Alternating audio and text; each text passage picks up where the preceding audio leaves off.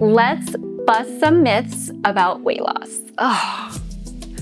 Okay, what's number one? So GLP-1s are not a magic solution. I don't think there's any magic solution out there. Although it does help with weight loss, with appetite suppression, slowing down your digestion, and regulating your insulin, it doesn't automatically make you lose a bunch of weight. There are there is some work that you have to do. You have to make sure that you're eating the right caloric intake, the right nutrition, the right hydration, the right lifestyle changes to lose weight. So GLP-1s are not only for patients that have diabetes. If you are overweight, if you have, you know, any imbalances in hormones, HR, HRT therapy, if you are also, you know, perimenopausal and menopause, this could really help regulate your hormones that affect your ability to lose weight.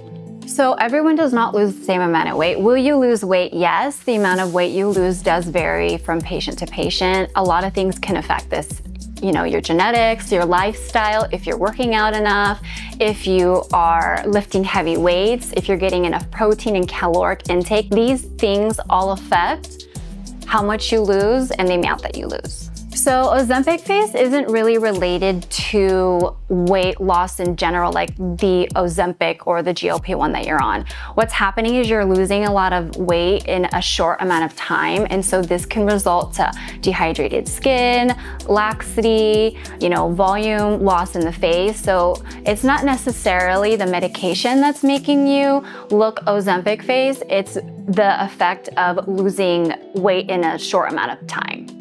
So how we would mitigate this is definitely some biofiller, volume replacement. Um, we do educate our, our, patients that this is something that can happen. So a good skincare plan, as well as making sure that you're getting enough nutrition um, that to feed your body. If you heard any other myths that you would like us to bust, then let us know in the comments below. I added that. they opened the door.